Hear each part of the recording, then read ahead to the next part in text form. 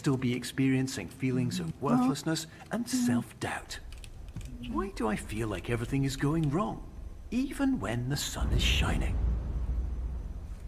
Bro, I did not sign up for horror. Fuck.